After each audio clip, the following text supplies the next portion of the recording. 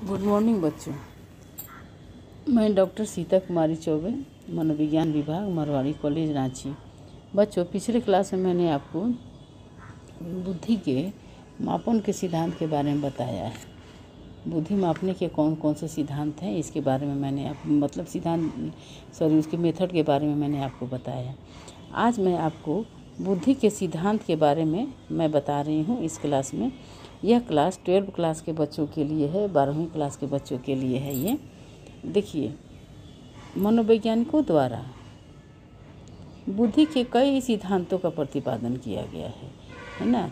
बहुत तरह से, बहुत ही तरह से बुद्धि के मापने के लिए बहुत से सिद्धांतों का प्रतिपादन किया गया, निर्माण किया गया।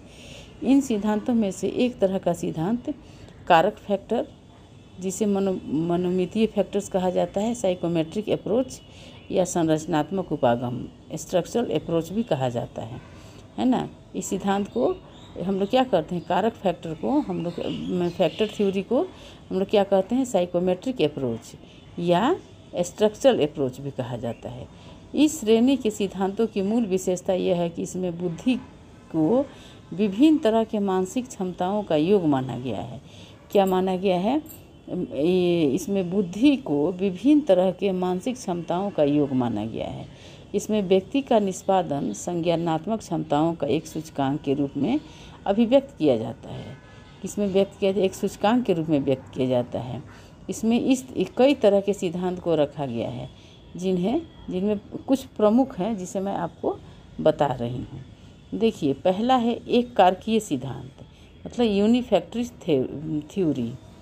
क्या है? यूनिफैक्टर थ्योरी पहला है एक कारकीय सिद्धांत। इस सिद्धांत का प्रतिपादन अल्फ्रेड बीने। अल्फ्रेड बीने एक बहुत ही बड़े मनोवैज्ञानिक थे, बहुत ही ज्ञानी मनोवैज्ञानिक थे और इन्होंने बहुत दिनों तक रिसर्च किया और रिसर्च करने के बाद 1916 में इन्होंने अपना एक सिद्धांत दिया। इसे यूनिफैक्टर सिद्धांत हम लोग कहते हैं, है ना? बुद्धि का यह एक सरलतम सिद्धांत है। एक बहुत ही सरलतम सिद्धांत है। और इस सिद्धांत की संरचना का आधार बीने की वो अभिरुचि थी, जिसके माध्यम से वे अधिक तीव्र बुद्धि के व्यक्तियों को कम तीव्र बुद्धि के व्यक्तियों से भिन्न करना चाहते थे। है ना? जो अधिक तेज बच्चे हैं, उनको कम तेज बच्चे से अलग करना चाहते थे। उनका मत है कि बुद्धि में क्षमताओं का एक समान सेट होता है। जिसके माध्यम से व्यक्ति अपने वातावरण के किसी भी समस्याओं का समाधान कर सकता है। इस तरह से बीने के अनुसार बुद्धि में समान क्षमताओं का एक सेट होता है।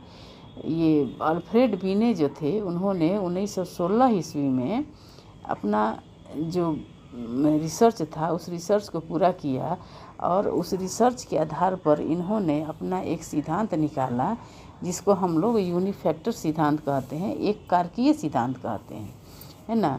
तो इस, यह सिद्धांत काफ़ी ही सरल था मतलब इजी इजी थ्योरी था इसका। और इस सिद्धांत के अंतर्गत इसका आधार क्या था कि वो तेज बच्चों को, तेज बच्चे जो होते हैं, बहुत ही तीव्र बुद्धि के जो व्यक्ति हैं उनको कम तीव्र बुद्धि के व्यक्तियों से भिन्न करना चाहते थे। वो उनको अलग रखना चाहते थे कि किस कारण से इस व्यक्ति को तीव्र बुद्धि माना जाए और किस कारण से इस व्यक्ति को कम तीव्र बुद्धि माना जाए। है ना? तो बुद्धि के क्षमताओं, ये उनके अनुसार ये बुद्धि एक क्षमताओं का एक सामान्य सेट होता है। सामान्य सेट, है ना? जिसके माध्यम से व्यक्ति अपने वातावरण में कि किसी भी समस्या का समाधान वो आसानी से कर सकता था, है ना? अल्फ्रेड बीने के अनुसार क्या था कि बुद्धि जो है, एक सामान्य सेट है। बुद्धि जो है, अपने क्षमताओं का एक सामान्य सेट है, जिसके आधार पर हम क्या करते हैं? वातावरण में, वातावरण उपस्थित जितने भी समस्याएँ हैं, उसका समाधान हम आसानी से कर लेते हैं। तो ये, इसका उपयोग कौन किया था? अल्फ्रेड बीने ने। तो हम हम इस चीज़ को समझ गए कि अल्फ्रेड बीने का बुद्धि का जो सिद्धांत है, वो क्या है? समान क्षमताओं का एक सेट है है ना? तो अब हम देखते हैं कि इस तरह से ये बुद्धि क्या होता है। आज का क्लास यहीं तक समाप्त करती हूँ। अगले क्लास में मैं दूसरे सिद्धांत को बताऊँगी। तब तक के लिए धन्यवाद।